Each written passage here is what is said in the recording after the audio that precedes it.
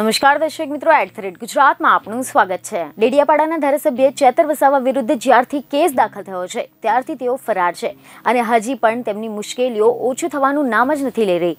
એક પછી એક દરવાજાઓ તેમના માટે બંધ થઈ જતા હોય તેવું લાગી રહ્યું છે અને એવામાં અનેક નેતાઓ તો ચેતર વસાવાનો વિરોધ પણ કરી રહ્યા છે.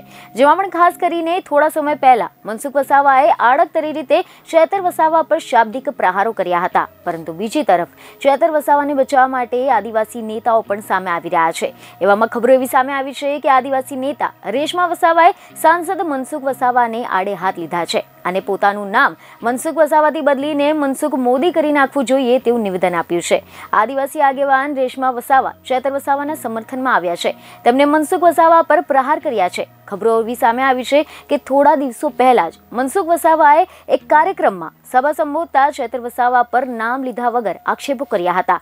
એમણે જણાવ્યું કે ભાજપ સરકારે અનેક કામ કર્યા છે અને અમુક નેતાઓ, એટલે કે ચેતર વસાવા, માત્ર યુવાનોને ઉશ્કેરવાનું જ કામ કરી રહ્યા છે. જેનો જવાબ રેશમા વસાવાએ આપ્યો છે. રેશમા વસાવાએ મનસુખ વસાવા સામે લાલ આંખ કરી છે.